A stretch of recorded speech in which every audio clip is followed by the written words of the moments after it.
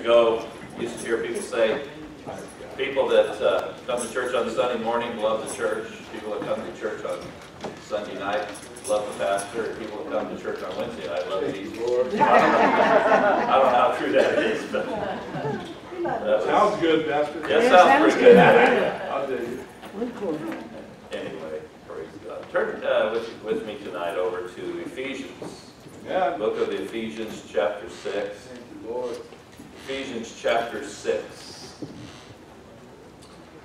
going to pray before we get going here tonight. Just open yourself up to the Lord tonight. Let Amen. him, let him minister to you, speak to you tonight. You know, Paul prayed over here in actually this very book, Ephesians, over in chapter 1. He prayed for the church, although they were already saved. You know, when you're born into the kingdom of God, you're like a, a newborn baby in the natural realm.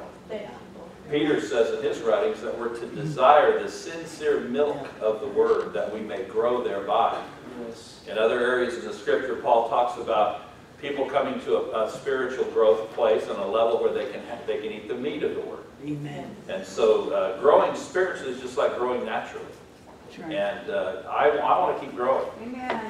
I want to keep growing uh, into the image of Christ. I'm not there yet. How about you? Amen. Amen.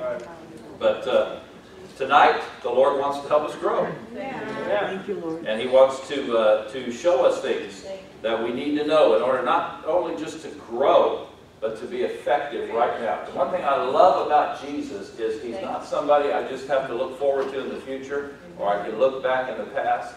He's a right now God. Yeah. He'll walk with us if we'll walk with Him. Yeah. Amen. So, Father, tonight we open our hearts to you.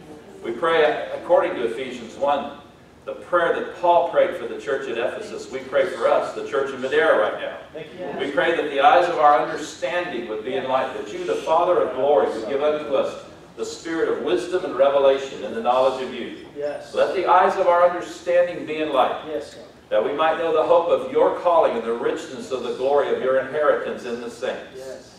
Lord, I pray tonight that you'll help us not to try to just absorb this in our mind, but God, I pray for a divine explosion of Yes. revelation in our hearts. Yes, God. Because it's when we it's revealed to us, just like it was revealed to Peter that you were the Christ, the Son of the living God, that that word becomes powerful. It becomes something of substance, a tangible spiritual substance, substance that we can walk in and use in our life and see you manifest yourself in our lives, to us and through us.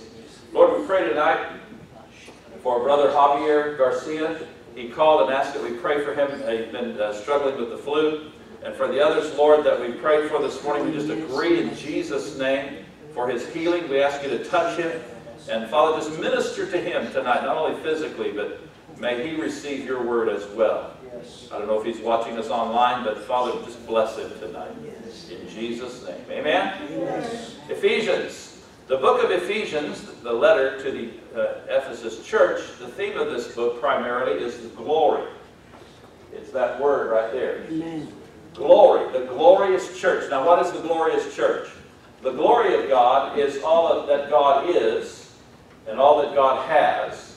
It's the, it's the essence, it's the presence. Uh, you know, when uh, Lazarus had died, and Martha, his sister, came and, and, you know, told, said to Jesus, if you'd been here, he wouldn't have died. You know, she was disappointed and frustrated and so forth. And Jesus looked at her and he said, Martha, didn't I tell you uh, that, you know, if you would just believe, you'd see the glory of God? Amen.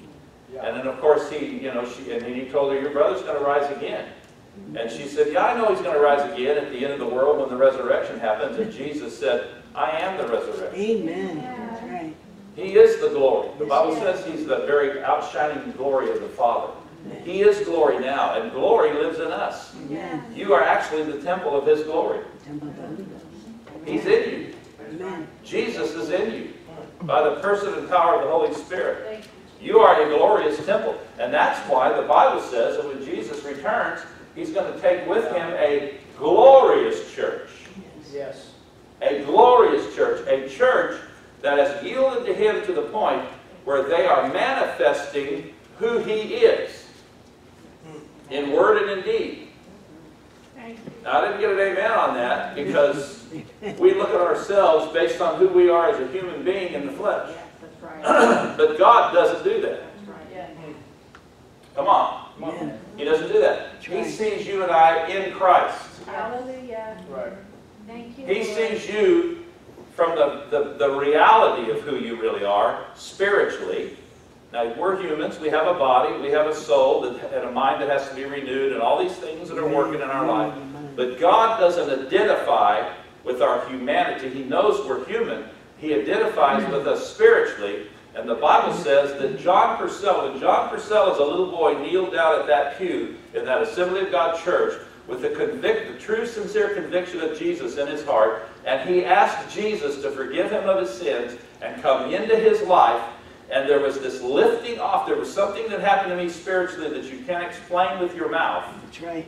There was a change that took place inside of me, and I became born again. The scriptures say, Colossians, that when that happens, that we, that old person that wasn't saved, that wasn't God's child, wasn't uh, uh, born again, that that person dies, and their life becomes hid with God in Christ. Right. Amen. Hallelujah. So when God looks at you, He sees you in light of His Son and what His Son has done for you. He knows you make mistakes. He knows you have bad habits. He knows that at times you just open your mouth to change feet. Come on, who's all that? Amen. But that's not what He's going by. That's what religion goes by. Religion, dead religion's always trying to obtain that place in God to be accepted, and you can't obtain that on your own because God is perfect and His standard is perfection, Yes. and that's why He had to send a perfect one from heaven to come in here to face all of the tests that Adam and Eve failed, and all of us have failed, and pass those tests without sin, and then willingly, out of a heart of love, lay his life down willingly for us, and give himself as an offering and a sacrifice, so that the Father could say, that is, how can I turn that sacrifice away? That is a perfect love sacrifice, and he has willingly given himself to pay the price for them. So I accept that sacrifice, and I, I uh, account it unto them as though they've never sinned. That's right. Amen. Amen. See, I don't have to go before the Father on my track record. I get to go before him on Jesus' track record. Amen. Amen. Now that doesn't mean that I don't, I'm not, you know, honest with myself if I have a wrong heart or I sin. Amen. The Holy Spirit convicts us. We admit it, we deal with it, and we move on. Yeah. But you and I have been born again. We are a, a child of God. And the Bible says that His life and nature, or His glory is another way of saying it. The Holy Spirit and glory are interchangeable. Amen. Glory of God is not a something, it's a person. Amen. And the Holy Spirit lives in us. The Bible says we are now the temple of the Holy Spirit. Yes. And so what the enemy wants you to think is that you're just an, over, an old person who's trying to somehow make heaven and God's just having mercy on you. You know, you really, uh, you know, it's kind of like you saying, well, yeah, and I guess I'll let him in. That's not it. God loves you. His love for you is greater than any sin or mistake you might ever make in your life. And all we have to be, do is be honest and humble enough to admit we're a sinner and we need a Savior. Amen. Jesus. And humble ourselves before Him and say, Lord, I give you my life. See, He can't give, Jesus can't give you His life till you give Him your life. That's right. Because He's given you a free will. And if you want to be stubborn and become an enemy of God and, and just be hard-headed about it and go to hell, He'll let you. He doesn't want you to. He'll do everything He can to try to keep you from doing that and to try to bring you to a place of repentance. But if you are just going to do your own thing, God will, well, He has to let it happen. Yeah. Yes, that's Because. He's made us free moral agents. Amen. Yeah. Come on, are you here today? That's right. I didn't plan on saying any of that, but I'm not going to take any of it back. The point, the bottom line point is what I'm saying here is, is that God wants us to walk in, the Bible puts it this way, from glory to glory Yes. to glory to glory. What does that mean? How many of you know the older you get, the more you look like the parents? Yeah. He wants you as you grow to look more and more and more and more and more like Jesus. Yeah. Amen. Yes, Lord. Come on. Thank you, Lord. And it's not as hard as we make it. That's right. How many of you, when you were growing up as a kid, you'd get up in the morning and you'd go, I'm trying to grow. Yeah, I'm going to make it. right. No, you just got up and went in there and ate your post toasties or whatever it was you ate. Anybody remember post toasties? Yep. Yeah. Some of you young folks will catch up one day Peanut butter and know some of these things. What, were- what was yours? Peanut butter Captain Crunch. Peanut butter Captain Oh, Crunch. man. That's some nutritious food Oh, right there. yeah. Sugar. We just, we just, we just lived our life. We ate. Amen. We ate, we exercised, we did whatever, made the teachers miserable at school, whatever your favorite sport Oh, was. yeah. Yeah. And you just grew. Right. Amen. Amen. Well, if you just walk with Jesus, he'll help you to grow. Amen. Praise God. But I want to talk tonight about uh, prayer. Amen. Ephesians chapter 6. Ephesians chapter 6. We have to understand that God, once God says something, it's true for eternity. When God created Adam and Eve, He gave them dominion. As a matter of fact, the first thing He said to them, or about them, was let them have dominion. Mm-hmm. Now, what does dominion mean? It means to dominate. In other words, what God was saying, you know, Psalm 24 says, The earth is the Lord and the fullness thereof. He owns the planet and all they that dwell therein. God created people. The devil didn't create anybody. The devil's not as big a big shot as he makes people think he is. He's got Hollywood bamboozled into making him look big, bad, and ugly, but he's not near as tough and mean and all that as people think he is. Yeah. Amen. Amen? That's right. He's a fallen angel. That's right. Therefore, he is limited to angelic level. He doesn't come anywhere near God's level. Oh, Right. The Bible says that we were created by God and given dominion over the earth. God owns the earth, but He said, I'm going to create you and I want you to run the earth for me. I'm just breaking this down as simple as possible. Amen? Amen. So Adam and Eve walked with God, listened to the owner. If you were managing apartments, you wouldn't do your own thing. You wouldn't go paint those apartments any color you wanted to. You wouldn't rent it for however much money you wanted to. You stay in connection with the owner, and you, right. even though you're the manager, you have a certain level of authority over the apartments when you're there. Ultimately, he owns them. That's right. And as long as Adam and Eve stayed in contact with the owner, things went good on the earth. Amen. One day they listened to the enemy and they began to uh, listen to his lies and do their own thing. And that's when a disconnect came and they got into a situation where they actually got disconnected from the life and nature of God. Right. Or you could say it this way the glory and life of God departed from them. Right. And so now they're in a situation where the enemy, because of deception, instead of having that, that glorious revelatory understanding that came by being one with God and His Spirit, Psalm 8.2 says that God has uh, s- crowned and surrounded man with glory and honor. But God's nature and presence, His very fiery nature of holiness and perfection, consumed sin. So when Adam and Eve sinned, God had to pull back from them or He would have consumed them and destroyed them. Yes. It wasn't because he was mad at them. How would you like it if you knew that if you gave your kid a hug, you'd kill him? That's the position God was in uh, on the on the in the situation. And so, as a result of that, of course, the, the plan began began to happen where God began to move toward restoring man to that position of being a child of God.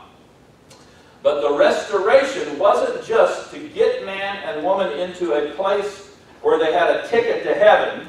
Thank God for that. How many of you are glad you got one? Amen. Amen. But it was to bring us all the way back to the fullness of glory. Amen. And if you study the Bible, you'll find that the day is coming when even the very creation itself will once again be just drenched in the glory of God, full of the glory of God. Amen? But God has given us, according to Ephesians here, God has given us a down payment on that day by putting His glory in us. Yes. Now, he hasn't taken back man having dominion over the planet. The devil became the God, little g, of this world because he now was able, through his deception and that separation of man from God, to appeal to man's uh, mind, will, and emotions, his soul, and manipulate his thought life and push on his emotions and deceive him through the, the lusts and the desires of, of man and of the flesh. Man began to be, bow his knee to the enemy, and the enemy was able then to rule and dominate in this world through that darkness and that deception. And that's what's going on in our nation today. Right. Yes. The guy that's running North Korea over there is dominated by demons. Right. That's Yeah. right. Right. If you know who he is, what he's about, and what he does, he is dominated by the God of this world. And we see in Scripture where even Daniel, when he was praying, that there was a, a demon prince over Persia. It's called the Prince of Persia. That resisted angels that were sent to Daniel to give Daniel a message about the future. So this is all happening and still happening in our world today. Right. Now the enemy can only dominate a Christian if a Christian lets, it, lets him dominate. Right. Right. That's right. That's why God gave us the Holy Spirit so that we can walk in communion with Him in our prayer life and our fellowship life with Him based on the Word of God. We can walk in the light, follow God, and not walk in deception and darkness. Right. Amen. Yeah. Amen? Amen. So that makes us a church full of His glory, a church that should be moving forward in that glory.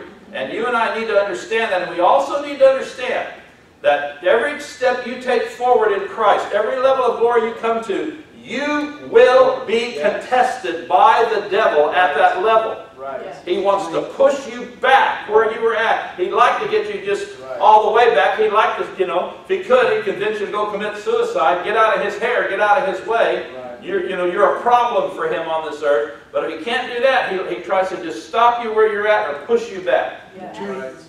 Right. And he does it through deception. Amen. And so we live in a war zone, Yes. a spiritual war zone. Don't have to be afraid. Amen. Don't have to be afraid. Yes. Jesus said, I've overcome this world for you. Yes. You just walk with me, follow my shepherd's voice. Let me be the King Messiah that I am, and I'll take you forward. And not only will you not be destroyed, over in Psalm 91 it says, With long life will I satisfy you, and I'll show you my salvation. Yes. He says, when those things show up that come against people to kill them, he says, you'll be protected. Right. Amen. Amen. Amen. Amen. Praise God. But we live in a spiritual war zone, Yes. Yes. and we need to be aware of that and understand that. Thank you, Lord.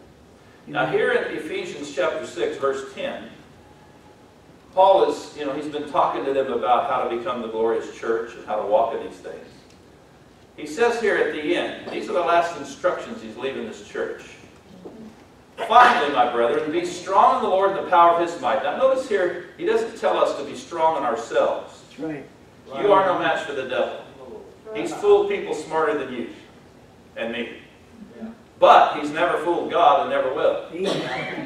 So what I'm going to do is instead of me trying to be strong in me, I'm going to uh, understand what Paul understood, that when I'm weak, when I don't have the answers, when, I, when the enemy's plotting and planning against me and I can't figure it out as a human, you know, the devil's the invisible man. And he's doing all this stuff and I don't even know what's going on. I'm going to trust and rely on the Lord and he's going to put his mm-hmm. power and anointing in my life and his wisdom in my life so I can be strong in him. Yes. Amen. Amen. Amen? Amen. Be strong in the Lord, the power of his might. Put on the whole armor of God. Now notice in this, this war zone we live in, and this, this battle that's going on, it says first in verse 10, be something. Be what? Be strong. Verse 11, it says put on something. Now notice, it's not telling you God's going to do this for you. Come on, are you here? God, Jesus has done things for us. He got our salvation for us. Yes. The things he's done for us, they're established and they're done. Matter of fact, you'll see as we read in this that this is available because he's done some things for us. But just because it's done for us doesn't mean we're walking in it. Right. Right. If you had a million dollars in the bank and didn't know it was yours, didn't know how to draw it out, it could be yours, it could be wonderful, it could be something that somebody maybe worked and put in there for you, but if you don't know how to connect with that, it's not going to affect your life at all. Yes. Amen. Yeah. Amen? Yeah.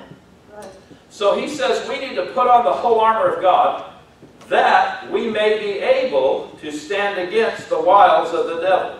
Yeah. The word wiles here, Old King James word, that means strategies, methods, and snares. Yep. Yes. See, the devil right now has had a meeting in hell about you. Oh, yeah. And he's not afraid of you as a person, but he knows who lives in you. And he knows that when you and God together are a majority, Yes. he knows that you and God together can never be defeated Yeah. as long as God is working through you. Yeah. And so he's hatched a plan and he's assigned demonic spirits against your life so that they can come and try to somehow manipulate you or deceive you. They have these uh, strategies that, that they, okay, we're gonna, here's how we're gonna try to get John Purcell. This has worked with him before, so we're gonna, we're gonna hatch this plan. This is a strategy we're gonna use against him. And then it says that, that they, they use methods to do that. You know, if you're the kind of person that gets offended easy and has trouble forgiving people, the devil will line people up down the block to offend you almost every day of your life. Yeah. It's not about anything other than the enemy knows that God can't forgive you unless you choose to forgive. Yeah. So many people think forgiveness is a feeling. It's not. Feelings are emotions. Emotions are like the wind. One day they're up, the next day they're down. That's right. Yeah. You can't go by emotion, you go by truth. This forgiveness is a choice you make in the heart. Yeah. You still may be hurt, angry, upset in your mind. You may have to even restrain your flesh from punching somebody in the nose. You're so angry in your mind.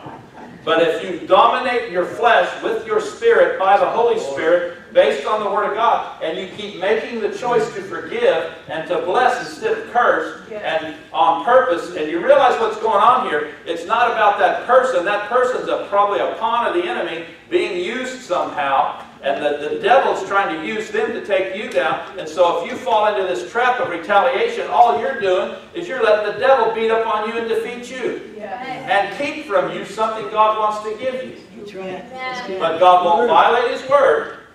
He will not violate His word for you. Right. He's a just God. Yes, he is. Amen. Amen. Thank you, Jesus. That's a whole different thing. I'm getting. I gotta watch these rabbit trails, man. I get up on these rabbit trails, and start chasing rabbits. So the enemy has a plan against us. There's no doubt about it. And it, his, he has a strategy. He uses a method. And the bottom line is to trap you, ensnare you. Mm-hmm. I got you. I got you now. I got you in this deception. You know, there are people that haven't gone to church for 30 years because Sister Bucketmouth offended them 30 years ago. Yeah. Yep. Or Brother Black. Yep. Or the preacher said this to me, or they, they did this, or they said that. Don't go to church because of people. That's a wrong reason to go anyway. Yes. There are no perfect churches. Right. And so if you find one, don't go there because you're going to mess it up. Amen. Right? Amen, Pastor. We don't go to church because of people. That's We go to church to worship God. We're all under construction. Amen. Amen? We need to understand that and stay with that. Praise God. So the enemy wants to trap us in some kind of deception like he did Adam and Eve. Now look, verse 12. For we wrestle not against flesh and blood. People are not your problem. That's right. They may be the, the, the instrument the devil's using, but they are not your problem. That's right. Yep. Hallelujah. Yeah. But against principalities, powers, rulers of the darkness, spiritual darkness that is, of this world, and against wicked spirits or spiritual wickedness in heavenly or high places. Yeah. The devil has his army set up, he has his pecking order, and he is working his strategies against people all the time. Mm-hmm. But it says back in verse 11, if we'll put on the whole armor of God, we will defeat him. Look what it says in verse 13. Wherefore take unto you. Take unto you. Now that these words take unto, in the Greek, the original Greek uh, that the New Testament was written in, mean to seize. Therefore seize. Grab hold of it. See, you got you got to be intentional. You know, soldiers, you know, soldiers don't can't be civilians. It'll get them killed.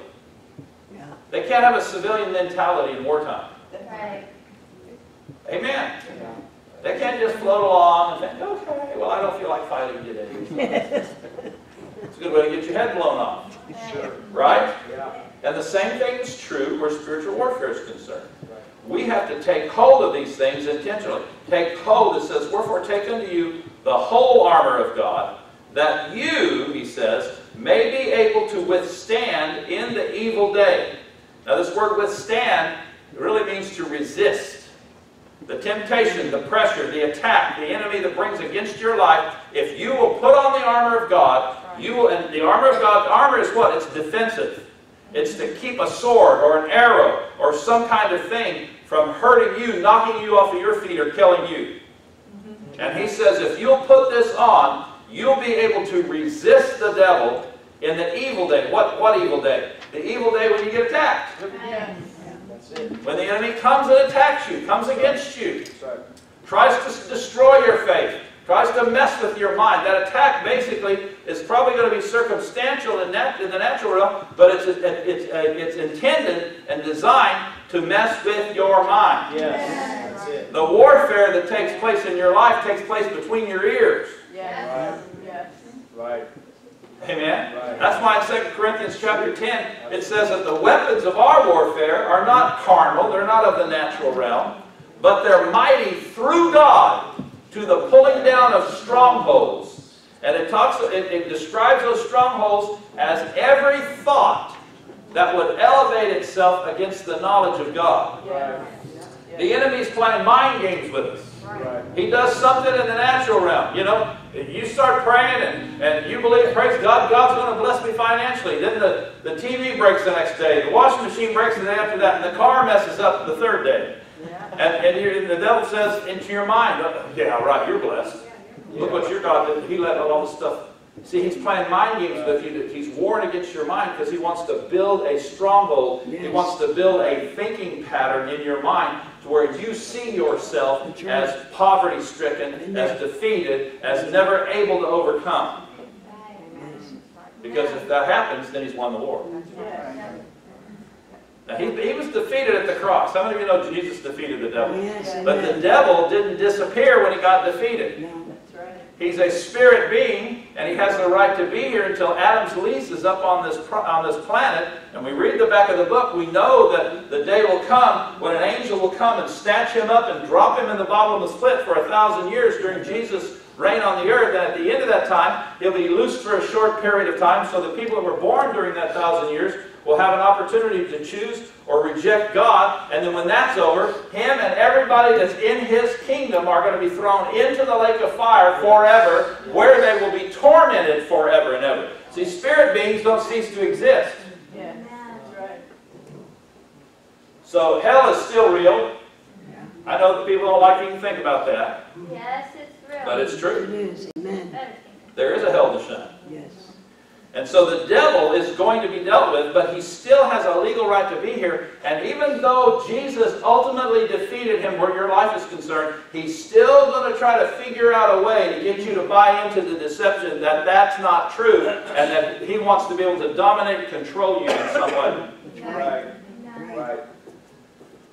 How many of you found that to be true? Yes. You know, I love this word, uh, verse 13 here, that you may be able to withstand in the evil day. That word withstand is the same Greek word that's used over in Peter, where Peter says, resist the devil, and he'll flee from you.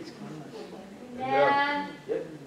Amen. Yeah. The Bible says we are to resist the devil, and he will flee from us. Yes. Why? Because he doesn't have a legal right to dominate us Right. In any way, shape, or form. When we're walking in Christ, when we haven't given place to the devil, that here in Ephesians, back over in, was it chapter 4? No, uh, chapter, yeah, chapter 4. Uh, where is it up here? I thought I knew where it was at. Anyway, oh yeah, up in verse, uh, chapter 4, verse 27, it says, Neither give place to the devil. Yes. We, if you're not giving place to the devil, how do you give place to the devil? Well, number one, you don't walk in the love of God. If you don't walk in love, what do I mean by walking in love? Selfless life, not selfish life. Amen. Amen. If you're walking in selfishness, if it's all about you, Yep. then you've got the door wide open to the devil, and God can do very little to help you in your That's life. right. That's right. That's right. Right. So It's true. Jesus never lived one selfish moment in his life. It was all about somebody else. Amen. Amen. He wasn't on some ego trip. He didn't run around with his feelings hurt. Right. Amen. One of the worst things that's happened to our nation is all these offended people.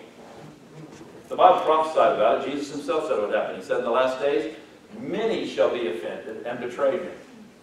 And if you study James, the Bible says where offense is, where strife and offense is, that there's confusion in every evil work. See, you've either got the door open to the devil or you've got it closed on in your life. Amen.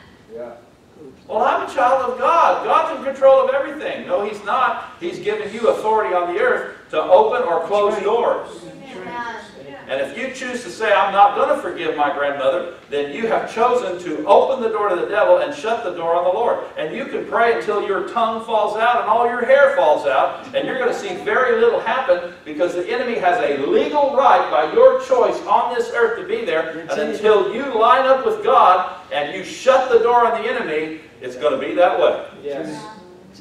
I have people argue with me about that, and I'm telling you right now, I mean, I, I'm just like anybody else. There's times when I don't want to do something I need to do, Yes. Amen. but I know I'd rather have, I'd rather look like a fool publicly Right. and have to eat crow or whatever, however people want to say it, Right. and not have the devil in my life. Yes.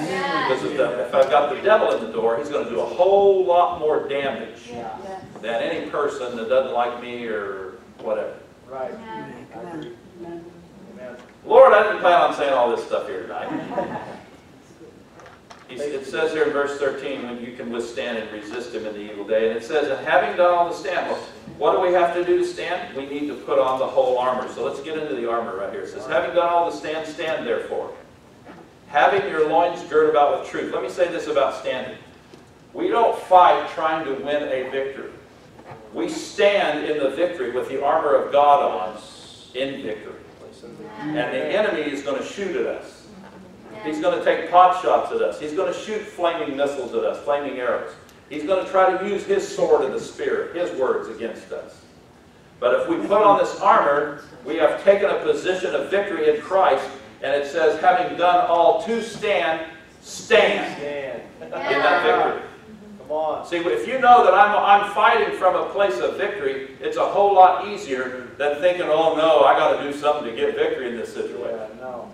Amen. Amen. So that's another mind game the devil will play with you. He'll, he'll make you think that just because circumstances are the way they are now, just because, you know, uh, the situation is how it is now and a certain person you're praying for or whatever it is, that you've got to somehow go obtain this victory. No, Christ already broke the devil's power over the situation.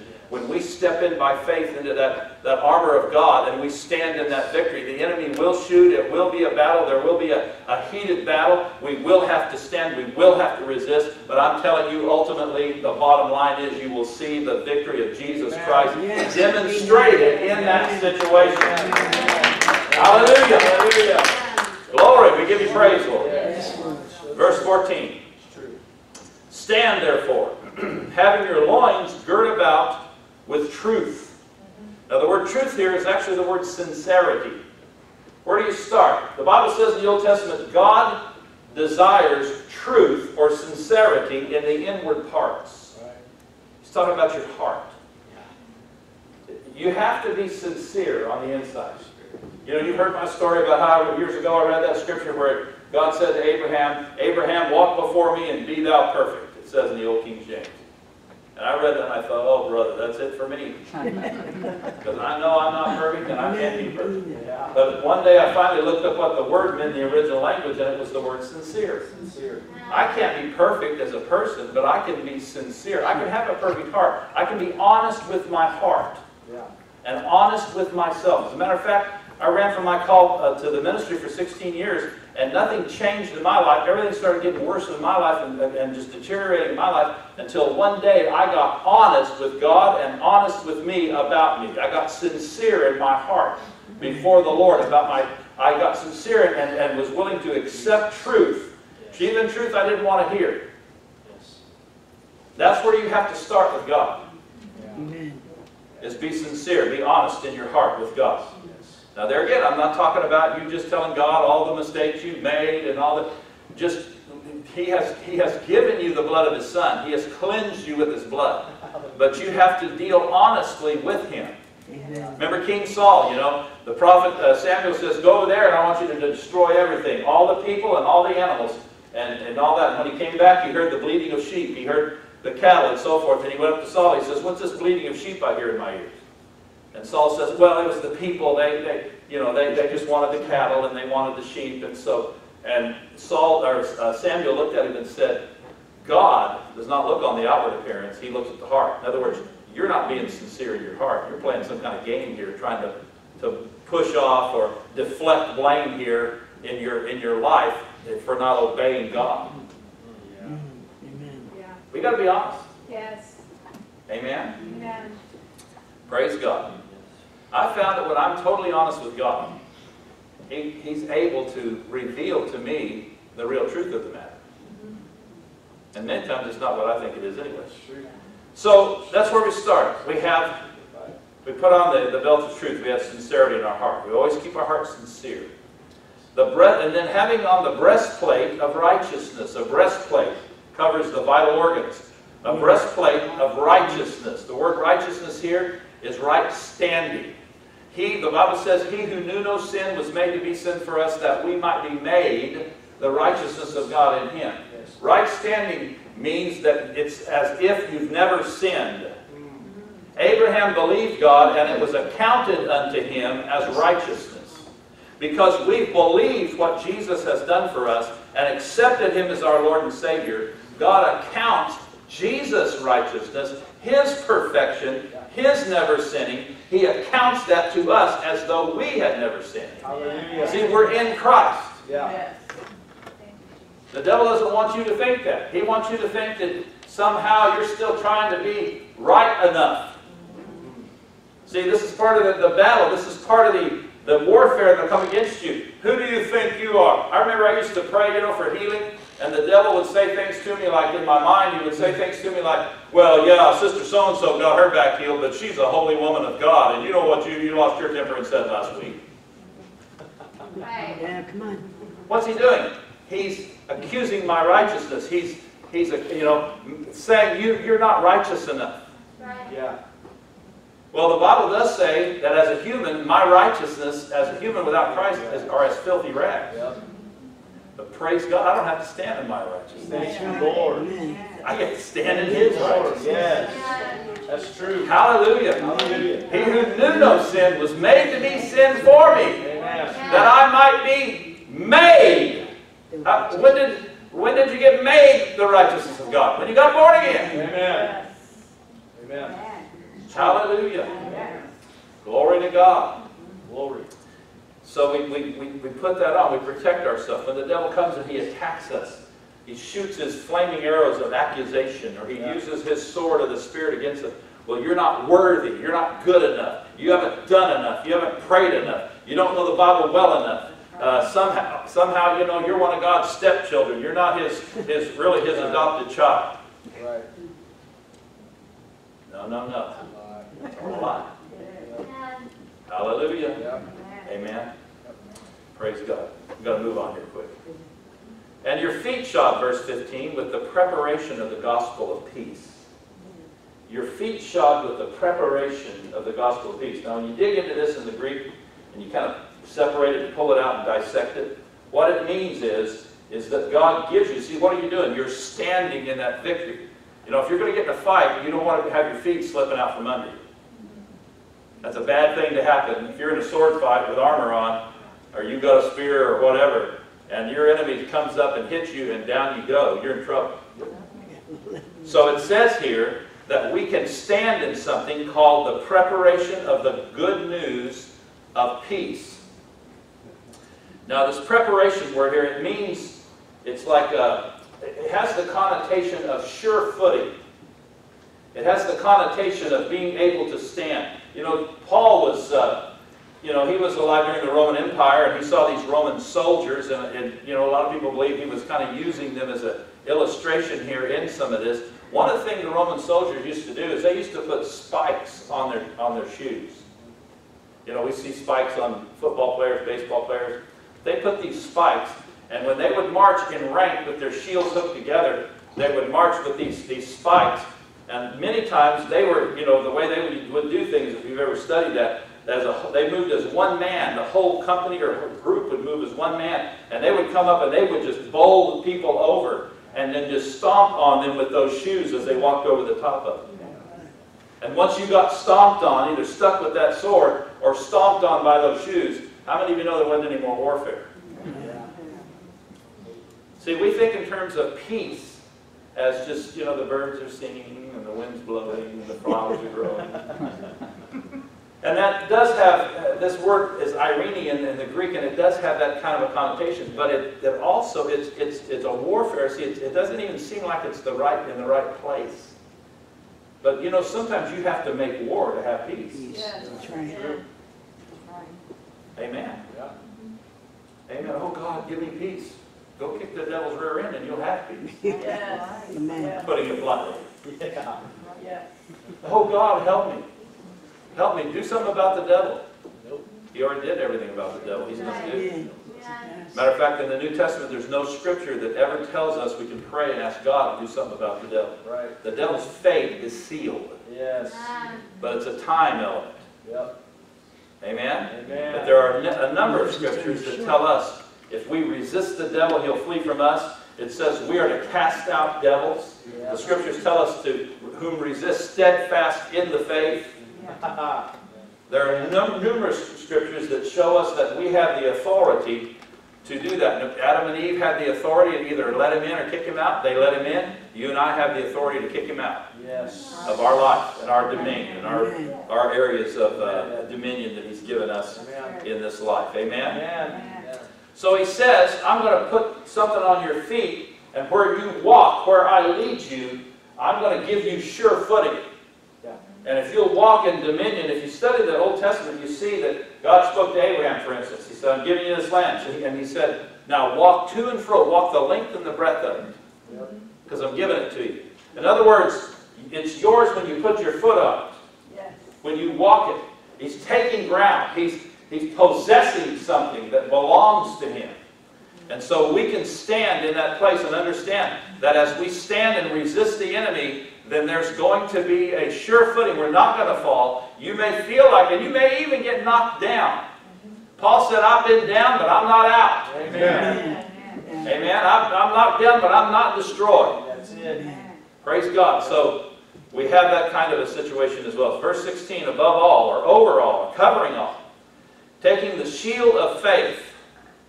Now, those shields they used to use in that day were like a door. They were like a big old thing that just covered the whole body of the person. And they used to have an armor bearer that would run before them with that shield. And it was his job to keep that, that person covered with that shield. You and I have a shield called faith. Your faith, your trust in God. When you stand and you believe God, you speak God's word, you resist the enemy, there's a protective covering. Yes. What are they, like in Star Wars, what's that thing that, uh, that they, what is it? No, not the force, the, uh, the, the shield they had that they couldn't get inside, you know? Force field? Force field, yeah, kind of like a force field. Something like that. There's this supernatural thing that protects you from the enemy taking you out. Right. And it's called faith. So whenever the devil starts shooting at you, put up your shield. Amen. When the enemy comes and he says to you, you're finished this time, you're not going to make it. Say, wait a minute, that's not what the Bible says. It is written, and then start quoting the word. Start telling the devil what God has shown you about your future. Use your faith. Believe God. Step up. Begin to decree. Begin to act. Amen. Proclaim it. Amen. Well, what if the circumstances are the same for weeks and even months? Keep standing. Amen. Keep decreeing. Keep saying it. Amen. Yep. Use your faith. Amen. Amen. Now, how many of you know faith is an act? Yep. Yes. Action. Faith is an act. Yes. Faith without works is Amen. dead, being alone. It says that having faith in you, having belief, having trust in you, but not acting on it. In James it says it's like a body without a spirit. Once your spirit leaves your body, the body is dead. It's, it's, it's not going to accomplish anything. It's going to lay there and rot. Yeah. Amen? Amen. So we can have a whole heart full of faith, but if we don't start exercising it by speaking, by, Right. by doing, by believing, by standing, Yes. by praising God, by acting like the word is true, Yes. then it's going to be just worthless. Right. Amen. Right. Right. Amen. Hallelujah. Thank you, Lord. Praise God. Thank you, Lord. Taking the shield of faith wherewith you shall be able to quench all of the fiery darts, it says here, flaming missiles, flaming arrows is what he was getting at here, of the wicked. Every thought the enemy shoots at you, every lie he shoots at you, Everything he throws your way, Right. the shield of faith will stop that Yes. from taking you out. Amen. Hallelujah. Hallelujah. You have the advantage over the devil. That's right. He can make it look bad in the natural realm. He can heat up the warfare. But he's picked the fight with, a fight with the wrong person. Yes. Because really, this is the armor of God. I, I remember years ago, I heard one preacher preaching on this, and he said, when you've got that armor on, the devil doesn't know the difference between you and God, because it's not your armor, it's God. Amen. For all he knows, God's under that armor. Amen. I mean, I don't know if that's true or not, but if you think about it, that's what it is. And the devil's got to get past God to get to you, Yes. Yeah. Because this is God's armor. Amen? Yes. Praise God. Thank you. You'll quench every, every flaming missile of the enemy. Verse 17. And take. This word take in the original means receive. Amen. Receive. Receive the helmet of salvation. Receive the helmet of salvation. Now, what does the helmet do? It covers your head. Yep. Yes. Amen?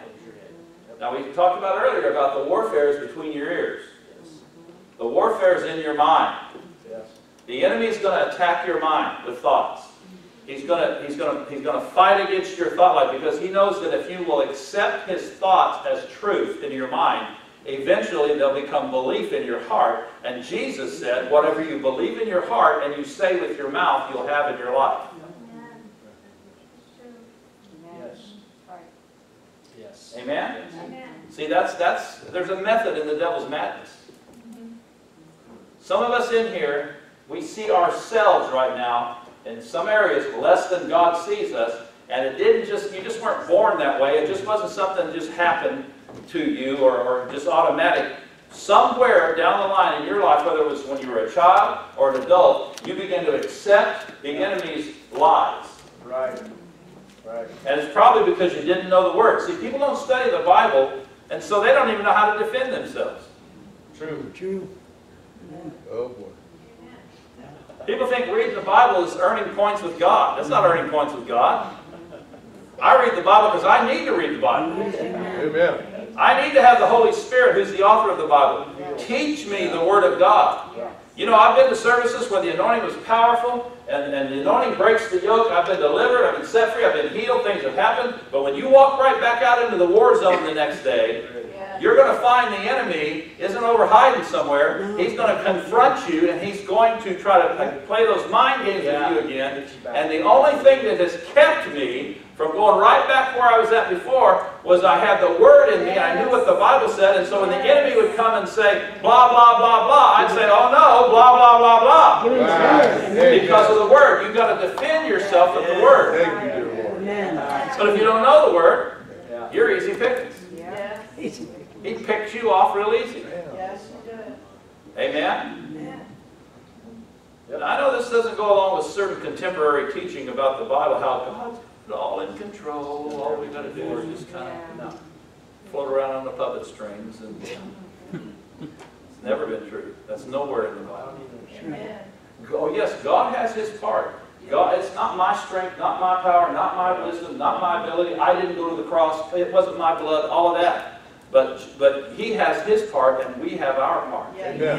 Yes, sir. Yes. And this is our part.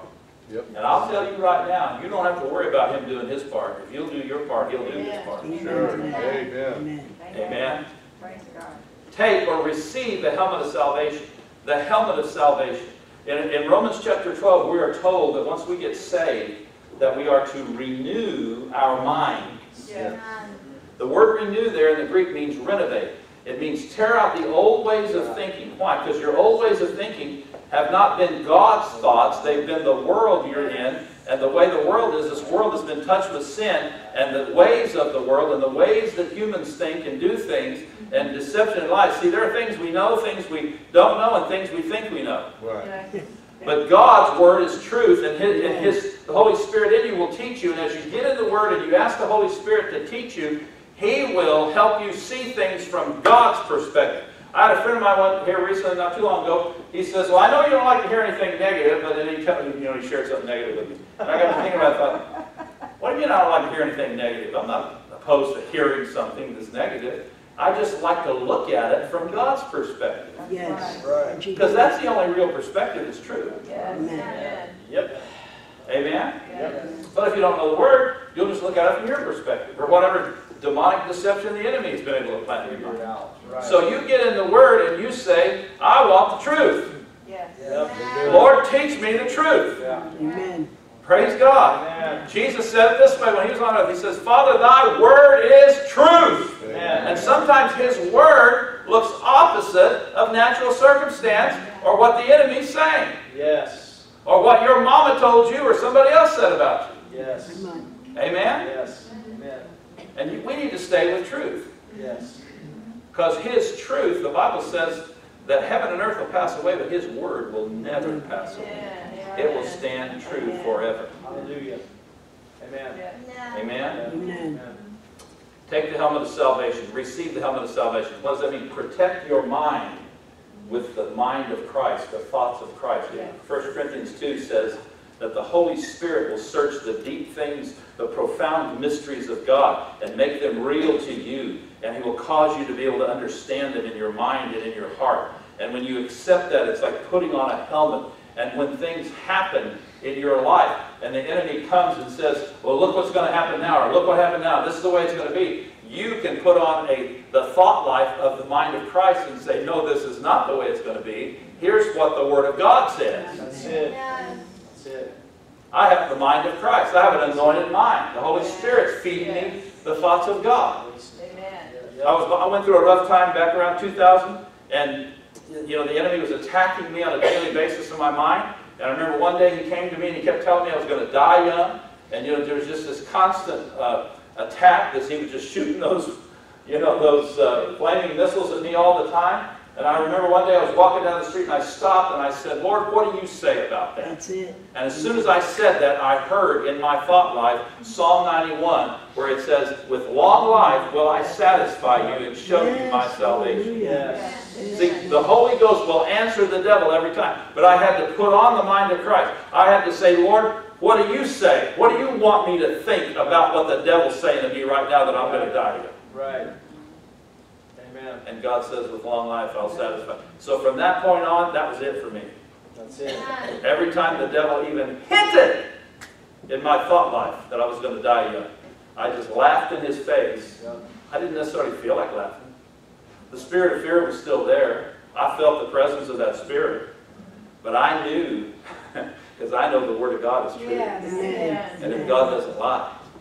That's right. And I knew Psalm 91 belonged to me as much as it belonged to David or anybody else. Yes. Right. Yes. Hallelujah! Amen. Amen. Thank you, God. Praise God. So you protect your mind. Don't let him start all that mess. When he starts tormenting your mind and what about this and what if and ah, yeah, just stop. But wait a minute. Holy Spirit, you live in me. Now, now study the Word because the Holy, it's the Word and the Spirit that work together. Yes. Some people want all, spi- all Spirit. Other people don't want any Spirit. They want all Word. But you need both. Amen. Yes. Amen? Even in the recreation of the world, the Bible says that the Holy Spirit was hovering and brooding over the surface of the darkness of the deep. And then the Word, God spoke and said something, and there was a conception between Spirit and Word that caused creativity to spring forth, and the light and the power and the glory of God. And it's still that way. Amen. The Holy Spirit will quote a lot of Scripture to you. Yeah. Hallelujah. Amen. So receive the helmet of salvation. I'm going to think God's thoughts after him. Think about this. He's given you, so 1 Corinthians 2, the mind of Christ. Yeah. Jesus had a, an anointed mind. He didn't, the Bible says, he said this, I don't do anything unless I see my Father do it. Yes. He understood that his Father in heaven, by the Holy Spirit in him and upon him, anointing him, would show him in his mind where he needed to go, what he needed to do, what he needed to be, what he needed to say. Amen. And the Bible says we have that, that mind in us now because he's in us. Yes. But we run around trying to figure it out on our own. Amen. Yeah. And finally, when we wear ourselves down, we're about ready to fall over, we stop and go, God, what do you have to say? What we need to do is check with him first Yes. Amen. and just get the issue settled right there. Amen? Glory to God. Protect your mind. You may have to tell the devil, take your foul hands off of me in Jesus' name. I don't belong to you anyway. And then it says here, and the sword of the Spirit, which is the rhema, or the word of God. The word rhema is the Greek word. The sword of the Spirit. Now, all this, this stuff we've talked about up to this point has been defensive. It's been something to protect you from something. This last one is your weapon. It's the offensive weapon. Amen. It's the thing you can use to stick the enemy, Yes. to cut the enemy's head off. Yeah. Amen. Remember David? Yep. He knocked him down with a rock, and he cut his head off with a sword. Amen. Goliath's sword became the sword of the Lord. Yeah. Amen? Praise God. Ah. Use the devil's own sword against you if you have to. Hallelujah. You got that, Amen. Yep. didn't you? Hallelujah. Amen. Praise God. We thank you, Lord. Thank you, Jesus. So it says, the sword of the Spirit, the Spirit of God, the sword, the weapon of the Spirit of God, which is the rhema, is the word there in the Greek. It's not the word uh, logos. Logos is the wisdom of God, the understanding of God. The Bible is the understanding of the logos. We, we read it and we see the wisdom of God. Rhema is a literal, creative, spoken word that God puts in your mouth Amen. that goes out of your mouth in creative power Yes. that is an absolute weapon. And angels, the Bible says the angels hearken to, that is, they listen to and obey the voice of His Word. Yeah. Amen. God's Word. So when God, the Holy Ghost, puts a word in your mouth and you speak it out, the angels, they know when it's John Purcell talking or it's the Holy Ghost talking through John Purcell, and they will take that and they'll go with it and they will enforce the victory as I use the sword of the Spirit. Yes. Yes. Yes. yes. Hallelujah. Yes. Thank you. Glory to God. See, again, we should ask the Lord, what do I say about this situation? Right. Lord, what do you say about this situation? Yes. Right. And when the Lord, see, when he, when he spoke to me that day, and he said, with long life I'll satisfy you. Now that was wisdom, that was logos, that was in the Bible, that was a scripture I'd read before. But that day when I looked at him, he gave it to me in Rhema. Amen. He spoke inside me. So when I put that in my mouth, it came out of my mouth in the same power that he released it in me, and it became a weapon against the enemy that the enemy had to obey because it was the strength and the power and the weaponry of God against him. Amen. Amen. And the angels were there to enforce it. Thank you, Lord. Angels. Hallelujah. That's. Praise God. So you are a powerful warrior. Amen. Hallelujah. Amen. Thank you, Jesus. Hallelujah. Didn't even have to go through boot camp. Well, I won't say that. Some of us have been through some boot camp. maybe. Sure. Frank knows what boot camp's about, huh, Frank? But you know, it's good. Yep. Boot camp's where they turn you into a soldier. That's right. They take you out of that civilian mentality that'll get you killed in warfare, and they turn you into a soldier. Right. You know, it's wonderful to be a child of God. It's wonderful to sit on Daddy's lap and love Him and hug Him and feel His presence. And, you know, it'll always be that way. Amen? But there's a time when you need to be a soldier. Right. There's a time when you need to let Him turn you into one who can walk in victory Yes. in this earth. You know, if for nothing, no other reason, I want to walk in that victory for my children and my grandchildren, for this church, for this city, for the places and the people God has given to me to uh, enforce His kingdom on, Yep. so that the people can be set free and they can have what God has for them. Praise God. A, a selfish person is a miserable person. Yes. Give your life for something. That's right. Give your life for Him. Yes. Amen. Amen. Yeah, you'll get attacked, but you know what? You're going to get attacked anyway. So you might as well get in the fight. Why, why stand there and just get punched in the face? Get up and punch back. Amen. Amen. And when you hit him with God's fist, he's got problems. Hallelujah. So you are, this paints a picture of you who you really are. As you receive these things from God, you know, you may want to go home and study this area of Scripture and ask the Lord to, you know, to talk to you more about it so you can begin to really identify with the truth of this Scripture. But now look what it's all for, verse 18. Praying always. Why has He put His armor on us? Why has He given us the strength of His power? Why is He telling us you if you're going to stand against the methods, snares, and strategies of the devil, why is all this true? Because you are in a war zone, and the devil is going to come after the body of Christ to try to defeat them, to try to divide them, to try to separate them, to try to limit them from being what God wants them to be, to be able to go into the fullness of the glory that He has for the church. Yes. That's right. Yes. So he says, praying always with all kinds of prayer and supplication. Word supplication means asking of benefits. In the Spirit. And watching thereunto with all perseverance and supplication for all saints. Yeah. See, this prayer, this armor is prayer armor. The, the, the battle is won or lost in the Spirit in prayer. When the church stops, starts playing and stops praying, the devil starts winning.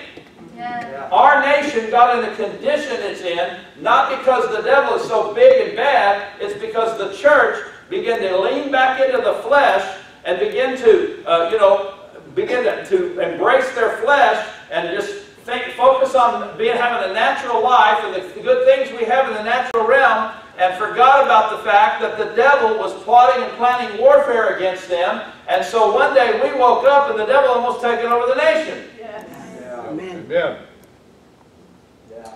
And if you've been asleep long enough, and as blind as uh, some people, even Christians are, you don't even know he's taking it over. That's a whole different subject. We won't go into that. So I'll just be honest with you. I'm amazed how blind some Christians are. Amen, spiritually. Pastor, yes. You know, the devil wants to mix good and bad together. and tell you it's good. Anyway, I'm not going to get into that. Because here's the answer, verse 18. Praying always with all prayer. Praying always, always, always. Your priority. Jesus said it this way in Matthew 6. He said, Seek first in time. Here's your priority in time. Seek first God's kingdom and what's right in His sight for you in that kingdom. You are first and foremost a child of God. Everything else that plays out in your life, in your, in your mind, in your natural life, comes out of your spiritual position in life and who's in charge in that spiritual arena of your life. If God's not in charge and He's not feeding you His revelatory word, and you're not, you know, having a relationship with Him where He can talk to you and He can use you and He can change you and He can do all that He needs to do, then the enemy by default is running your life and you don't even know it. That's right. Yes. Yes. Yep. Now, this might not be good news to some of you, but I'm going to tell you what, this is the answer. Amen. Amen. It Amen. is. It's the answer. Go back to study church history. We talk about revival. We talk about revivalists. We talk about this. We talk about that. You go back and study what it took for that to happen. It took the church getting on their face, repenting for being prayerless, repenting for not walking with God and listening to Him, and seeking Him every day and letting Him have control instead of us dictating to Him, letting Him dictate to us. Yes. When that happened, that's when God came in and He took over in areas. Right. And we call it revival. Mm-hmm. Yep. Mm. Something happened first.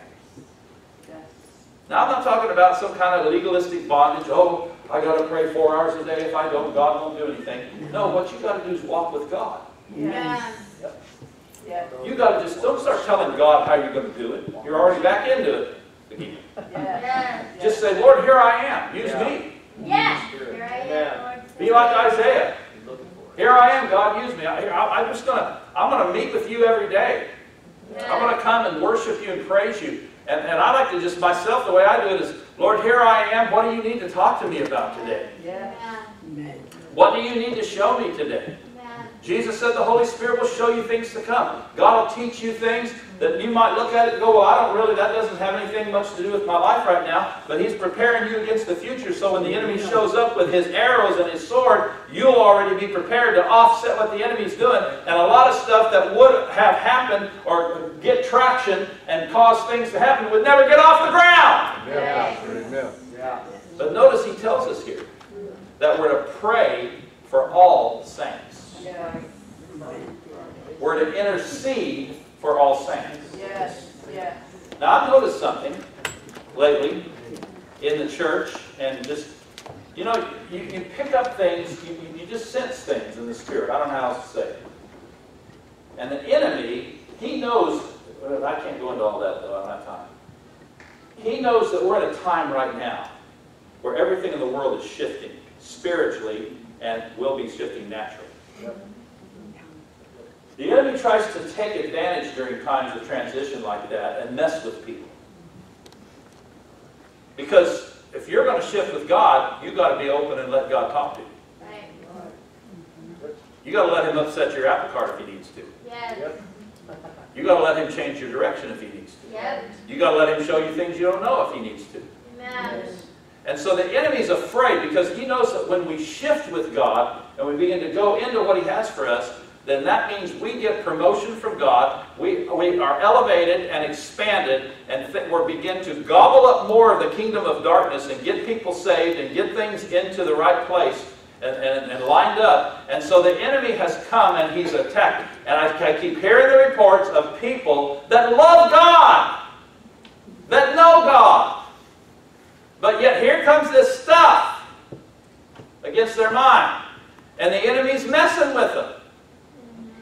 So what do we do? Say, oh, I wish that hadn't happened. No. Okay. Oh, I knew that person wasn't sincere anyway. Oh, really? Thank you, Holy Ghost. Telling us what you know. Come on. No, we need to protect them. That's right. Amen. Yeah. What does it say here? Praying always with all prayer and supplication in the Spirit, watching, watching, watching, watching Spirit. God will show you something. Yeah. He'll show you when the enemy's attacking one of your brothers and sisters sometimes. He'll show you what the enemy's got planned and plotted against you. He'll show you if you will pray with your eyes open and you'll say, Lord, I- I'm going to go with what you show me. Mm-hmm. Yeah. Amen. Yeah. Or you see a brother or sister struggling or falling. Don't criticize them. Don't shoot the wounded in the army. Don't, you know, don't give them over to the devil. Go after that demon. Because ultimately their deception and their fall, yes, they may have rebellion or they may be stubborn or something like that, but the enemy has deceived them. And when you go, I found when you get the devil off of somebody or out of somebody, they change. They do, yeah. Amen. Hallelujah. Amen. I remember one pastor friend of mine, I was talking to him. Uh, I talked to this other pastor. There were some people that used to be, a couple that used to be in this one pastor's church. And then they went and they went to this other pastor that I happen to know to his church. And uh, this first pastor, I don't even know how the conversation came up, but he said something about, he, he mentioned those two people, and he goes, man, those people cause a lot of trouble in my church. And I thought to myself, well, I know they go over to so-and-so's church now, and they're like his right-hand man and people. They're a great blessing and a great help. Wow. And so later on, after that, I happened to be with the, the second pastor, and I just, uh, without divulging the whole thing, I just said, uh, so-and-so, you know, couple that's in your church, I go, "Uh, they're a great blessing, huh? He goes, yeah, they are. I said, well, I've just heard some things about them causing a lot of trouble in other churches. He, he looked at me and he smiled, he goes, I cast the devil out. There go. He wasn't playing games, he meant it. Right. See, Christians can be dominated in their head by the devil. That's Yes. Hallelujah. Amen. Amen. He said the Lord showed me some things about him. See, sometimes people don't understand that the devil's even got him under his control. No, right, right, Right. right. You don't have to mess, mess with the devil. You don't have to put up with him. But No, no. amen. Any, any arena, and I don't know I'm perpetual about saying this, but any area of dominion you have, you can guard that. You can kick him out of that. That's right. Yes. I have to say whether the devil is in my home or not, or in my marriage or not. Or around I, that's right. Amen. I have to say, I, I have to a certain degree, I have to say where this church is concerned. God does not give you responsibility without giving you the ability to respond. Yeah. And so when he set me in as pastor in this church to serve as a, as a shepherd here, and when I pray for you, I have a shepherd's authority. And if you study shepherd's authority in the Bible, the shepherd have a, a- an authority to protect the sheep. Now, if you want to be a goat and run off and jump the fence and go do whatever, I can't keep you from doing that. You've got a free will. Right. But people even that have, that struggle in areas. And the enemy's attacking them, I can go after the devil on their behalf and bring a measure of relief and a measure of light and a measure of help to them to where they can see what the Lord is saying and get things lined up. But see, that what's the devil want us to do? He wants us to fight with people. Yeah. He wants us to take it down in the natural realm. And then we end up with evil and evil and evil and confusion and every evil work and strife, as James says. Hallelujah. Yeah. The Lord told me years ago, He said, if you don't want to have some of the church trouble that a lot of people, and I'm not saying we don't ever have church trouble, but He said, if you don't want to have some of the, chur- the church trouble that some churches have, listen to me. I'll show you what kind of spirit's trying to get in the church, and you can take authority o- over it, kick it out.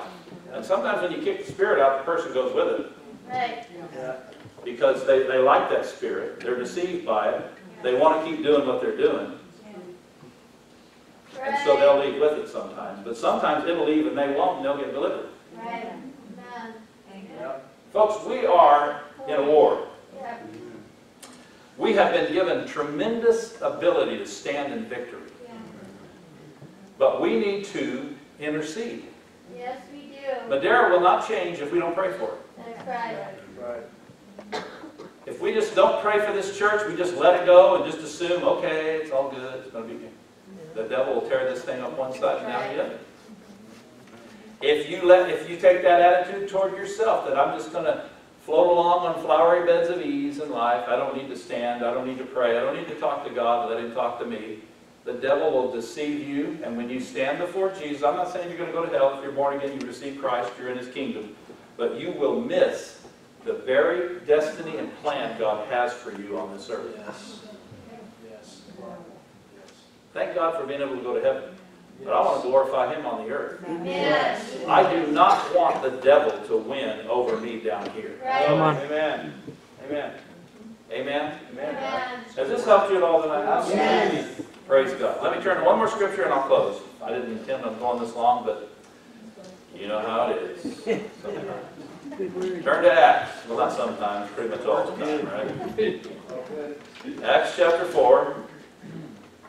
Mike mentioned this scripture this morning, but I just want you to see a couple of verses here real quick to, to show you the authority. Now, as a person, you know, I've been talking about you as a person dressed in that armor. When we corporately come together as an army, Yes, that's a different story. Right. Amen.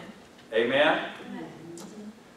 Here in Ephesians, or Acts chapter 4, this is course, Peter and John had healed the man at the gate beautiful, and they got in trouble for it, and got threatened, and the whole church got threatened, and they came to the church. They came to their own company, or to the church. This is Acts chapter 4, verse 23. It says, Being let go, they went to their own company and reported all that the chief priests and elders had said unto them. And when they, they who? The church, the corporate group, Right. when they heard that, they lifted up their voice and said, Peter and John, you got us in trouble. We're going to kick you out of the church. no, that's not what they said. What did they do? They lifted up their voice with one accord and said, Lord, you're God. Yeah. Amen. Not the Sanhedrin. Nope. And has made heaven and earth and the sea and all that is in them, that in them is, who by the mouth, and they went on to quote scripture and pray, and, you know, brought, there again, they had the word of God in them. They brought the scripture before the Lord. Now look at verse 29. And now, Lord, behold their threatenings. Grant unto your servants that with all boldness they may speak thy word, by stretching forth your hand to heal with signs and wonders uh, being done in the name of the Holy Child Jesus. Yes. So what did they do? They asked for God to accelerate His power. They asked for Him to take the revival and the move of God to a whole different level. Uh-huh. But they approached this situation, this threat from the enemy through these governmental people. They went to the one who is the government over the universe. Amen. The throne of God is the ultimate court. Yeah. Yeah. We have a supreme court, but the kingdom of God and the throne of God is the supreme court. Yes. Amen. Amen. And they prayed, and it says in verse 31, the place was shaken where they were assembled together. They were all filled with the Holy Ghost Yeah. and began to speak the word. Then it goes on to say that the demonstrations and power of God became mighty. The enemy raised up and tried to stop this thing. They began to pray, Yes.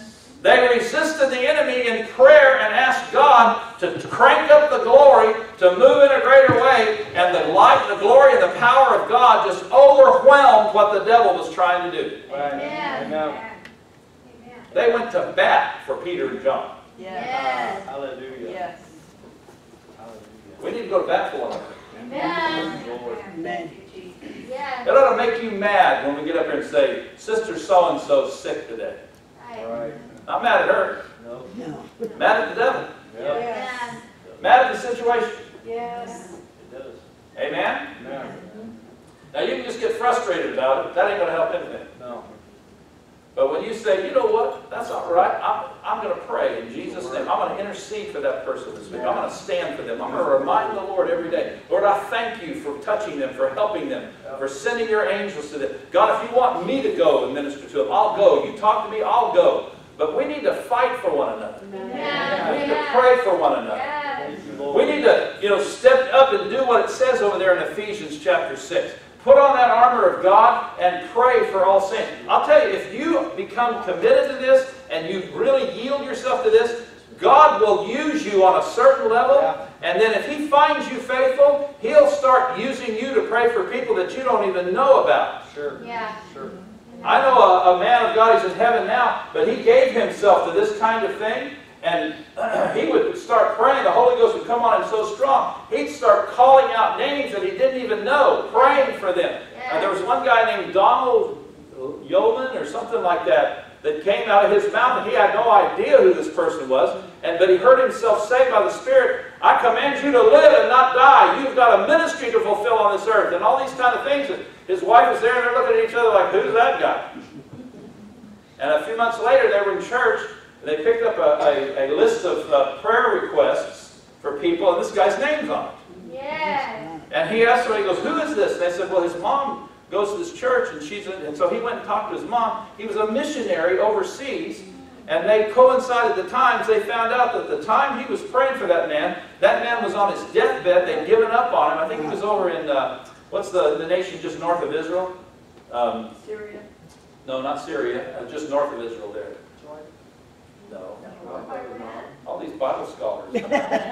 Huh? Fight Lebanon, you got it. You win the prize, brother. I was good there, so. Lebanon, yeah. Yeah, yeah. And uh, he, he was a missionary to Lebanon. They'd given up on him. He was dying. And God put this thing on this man. He began to, to put on the armor of God and call out the man's name, command him to live. And he lived. He came home. They pioneered a church and, and built this big church. And then about 15 years later, went home to be with the Lord. Yeah.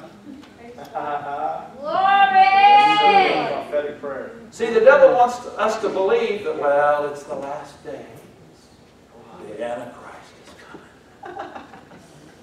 You better buy some tribulation food and hide it. Buy a bucket of pizza or whatever it is. Now, I'm not saying that we don't need to be prepared for things and, you know, take care of business and some of that stuff. But what I'm saying is, is the enemy will always paint the picture of him winning. That's And let me tell you something, he's the biggest loser you've ever Yes, seen. Yes, yes. He lost it all. And God wants us to understand that He's given us the victory. Yes. Thanks be unto God who always causes us to triumph Yes. In through Christ. Christ Jesus. Amen. Amen. Hallelujah. So, strap on the armor. Right. Thank you, Jesus. Take your, take your position. No. Don't just say you want to be in the daycare of God. You know, I want to be one of God's little children in the daycare all day. No! Come on. It's time for you to grow up, walk, and stand up. Yes. Amen. Yes. Thank God when we're young and we don't know, God cares for us and takes care of us. he still does that when we're old too, but we need to step up and become part of the army of God. Amen. Amen.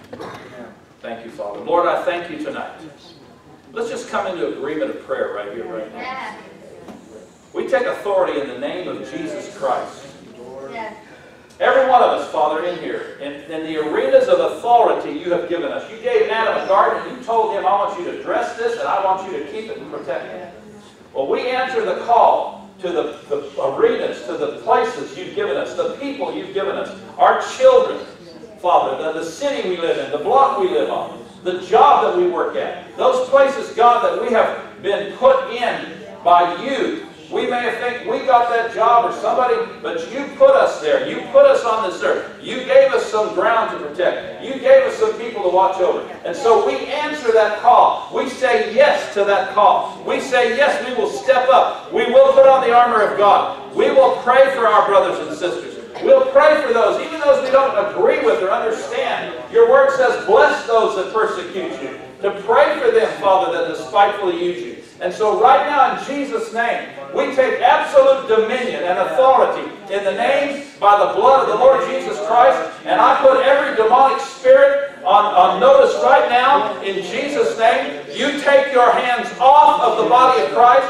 You take your hands off of the, the people and the things and the places that belong to the people in this room under the sound of my voice. And I, Father, I ask you that the angels come flooding in. I ask you, Father, that your Spirit begins to be poured out. I ask you, Heavenly Father, that your mercy comes down. Thank you that the, the, the mercy seat of, of, of, of God there in heaven, Father, the blood of Jesus that's crying out mercy, that has provided mercy for us. We draw on the mercies of God. Let the mercies of God rain down upon the Madera, California. Let it rain down on these families in Jesus' name. And Lord, we stand our ground and we decree. And from this point on, Lord, we stand in faith on these situations. And we look to you, and I thank you that you will put a rhema word in our mouth. Yes, Father. On a daily basis, you will show us what to say. We will not look at that situation or that person and judge it based on what it looks like now. We will judge it based on what you say in your word and what you show to us. And we agree with the decree. We agree with what you decree from heaven. We agree that in Jesus' name, that the time is now and that things change in Jesus' name. Hallelujah. Open portals in heaven. And we praise you for it, Father. Thank you, Lord. We give you praise and honor. Thank you, Lord. Because we are strong in you and in the power of your ability. Heaven in Jesus' We thank you for it in Jesus. for an open heaven. Thank you. Hallelujah. I take authority over every, over every tormenting spirit that's harassed. There- This is what I'm picking up right now by the Holy Ghost. There's people in here, there's been a stronghold in your mind where the devil has tormented your soul. He's tormented you. And I break that thing down. And if you'll receive this, I break it down in the name of Jesus right now. Thank you for I command the bricks of that stronghold to fall. Yes. I, I command those thoughts that have been assembled Yes. like bricks to build up a fortress Yes, in your mind. I command every one of them to crumble like the walls of Jericho. I say in Jesus' name, the enemy's lie comes apart. Yes. It's exposed for what it is. It falls helpless and hopeless to the ground. I command the spirit of fear to take his hands off of you in Jesus' name. I command the life of God to flow through you like a river. I command your mind to be delivered in Jesus' name. I say that you'll have the dreams and the visions of God. I say that you will know by the Spirit of God what to do, what to believe, what to say. Yes. You'll see clearly in Jesus' name. Yes. Thank you. Yes. Because your thought life will not be clouded and tormented any longer, glory to God. Lord And that you will dance upon injustice. You will rejoice in your victory in Him. Yes, Lord. Thank You will shout unto God with the voice of triumph. You will clap your hands, praise God, before Him. Thank you, Lord. Hallelujah. You'll have the victory, glory to God, that He's bought and paid for for you. Victory is mine. Glory to God. Hallelujah. Hallelujah. Amen. Thank you. Hallelujah. Thank you, Lord. Hallelujah. Thank you, thank you, thank you, thank you. And like Mike said this morning, do not let him play, let the devil play the time game with you. Do not let him. Don't get into the how long, how come, when. Yes, It's done. yes, amen. Every time you think about it, you just have a Holy Ghost dance party. Yes. Father. I'm serious. Yes. Because when you praise God, He inhabits your praises, the Bible says. He comes and He enthrones Himself in your, in your life and in those situations. And when, he, when He's on the throne, He rules. Nobody else. Thank you, God. Nothing else. Hallelujah. Glory to God. Well, let's just stand and praise Him for a minute this, this night. Amen. Hallelujah. The army of the Lord.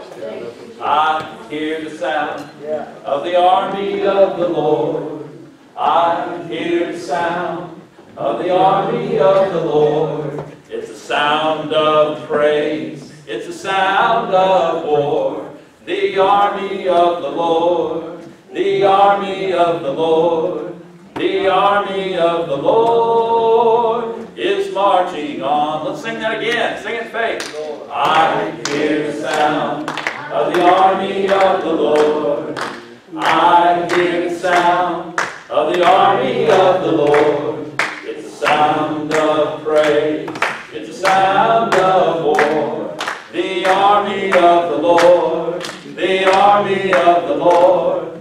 The army of the Lord is marching on. Glory to God. Hallelujah. Thank you, Lord. We are your army. We are your army. Yeah. Hallelujah. Yes. Go ahead. I- just like a minute, just like a minute, please. Sure, go ahead. Okay, I heard this word uh, before church started. I heard the Lord say to me, wormwood. And um, I don't, I didn't even know what the heck wormwood. Great, Lord, thanks. That's awesome. What is it? So, of course, I went to trusty Google here on my phone, and the definition of there's two definitions of wormwood. Now, and I, and I read them, and so the Lord started talking to me about this during service. Dad even touched on it tonight a little bit, and I touched on it quite a bit this morning, actually. One definition of wormwood is a woody shrub with a bitter, aromatic taste, used especially formally as an ingredient of vermouth and vermouth and abs- absinthe, I don't even know what it is, and, and in medicine. Okay, so I don't even fully understand any of that. But here's the number two. This is the definition that really stuck out to me. And this is where the Lord started talking to me. Uh, definition number two a state or source of bitterness or grief. And um, that's, Dad touched on this, I'm going to be real quick. Bitterness and grief is a doorway of the enemy. Yes. If he can get us in bitterness, and if he can get us into, over into grief about something, even grieving uh, uh, uh, for a loved one, or even grieving over your own self or something for a period, for a long period of time when the grieving should be over, the devil can use that avenue, that grief or that grieving or that bitterness, he can use that avenue to come in and to, like I was talking about tonight, play soccer in your mind and deceive you. Right. Now I heard that word wormwood, and I'm like, okay, but as, as, as the night went on, the Lord started talking about don't allow bitterness or grief. Now is the time that we never should do that, but now specifically is the time that we we have to walk in love to fully accomplish the fullness of God. So it's wild how the Lord will say things like that because He doesn't want us to take that wormwood Amen. whatever it is. And there's also scriptures in Revelations, uh, it was Revelations 8, chapter 8, verses 10 and 11. It talks about wormwood in there and this kind of stuff. So there's even some biblical definitions and some biblical scriptures about it in the Old Testament and the New Testament. I'm going to do some more research on it. But don't let bitterness and don't let the grief Amen. hold you because that's what gets your mind over into that realm where fear, anxiety, panic, the attack of the enemy, you know, sorrow, all that stuff. Amen. He's a liar. Amen. We win. Glory. Amen. Just take your position as a prayer warrior. Yes. Just tell the Lord, you know, just, I'm, I'm going to pray. I'm going to intercede for my city. I'm going to intercede. I'm, I'm available, Lord. You don't even have to draft me in the army. I volunteer. Yes. Amen. So, Father, this week, use us. Yes. Use us, Father, to pray for others, to pray for the body of Christ. In Jesus' name. We're not stepping back. We're not stepping aside. We're stepping up Hallelujah. in the name of Jesus, and we're moving forward in you. Yes. Now, Lord, I thank you for blessing every person under the sound of our voice tonight. Let the, this week, Father, be a week of encounters and a week of knowing you better than they've known you in the past. Yes, God. In Jesus' name. Hallelujah. Amen. God bless you. Have a good week.